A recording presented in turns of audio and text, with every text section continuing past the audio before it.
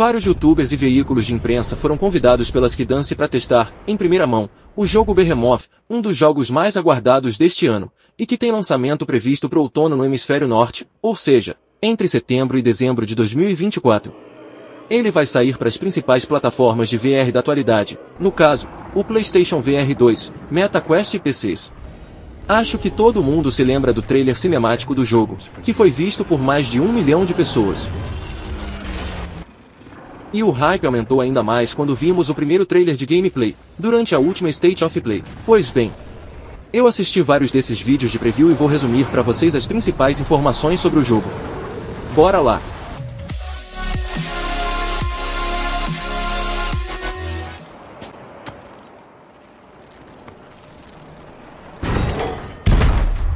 The Remote vai ter entre 10 e 12 horas de gameplay, é um jogo linear, sem mundo aberto, mas com áreas de exploração. Ao todo, são quatro capítulos, divididos em três atos cada um, e ao final de cada capítulo você enfrenta um Behemoth. Ou seja, devemos ter pelo menos quatro dessas criaturas gigantescas para enfrentar. Além da campanha, você também tem um modo arena, que não foi muito detalhado. O jogo se passa num local chamado Terras Abandonadas, e seu personagem se chama Ren, que pode ser homem ou mulher. A escolha é sua. Essa é uma das opções de customização do jogo, mas existem outras, como escolher a cor da pele e a grossura do seu braço.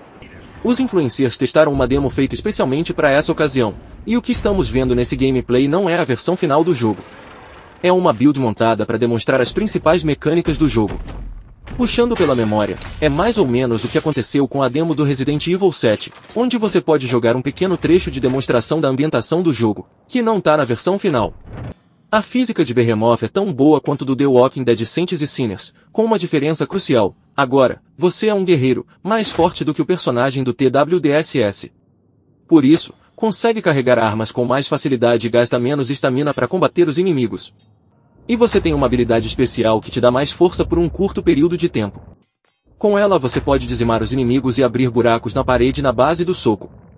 Você também tem um gancho que funciona como uma ferramenta multiuso, tanto para combate, quanto para escalada. No combate, você pode até puxar inimigos, como se fosse o Scorpion do Mortal Kombat. Get ou over here. O combate é bem dinâmico, com o uso de várias armas corpo a corpo, escudo e arco e flecha. Você pode dar parry nos ataques inimigos, empurrando a arma na direção do ataque deles, e assim abrir a guarda deles para contra-atacar. Você pode pegar qualquer arma inimiga para usar, mas também terá as chamadas armas de herói. Essas armas especiais poderão ser melhoradas e receber upgrades. No gameplay, podemos ver uma cena que mostra uma espada sendo lançada pelo jogador e puxada de volta, no melhor estilo Mjolnir, o martelo do Thor.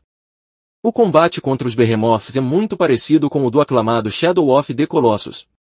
E pelo que falaram, é tão emocionante quanto. Porém, dessa vez, agora teremos a escala que só o VR pode proporcionar.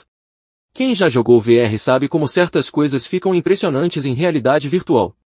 Acho que esse será um dos principais diferenciais do jogo em relação ao que temos hoje em VR.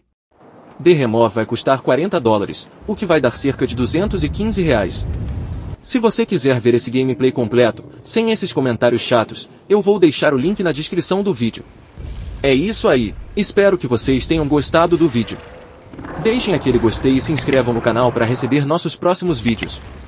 Valeu!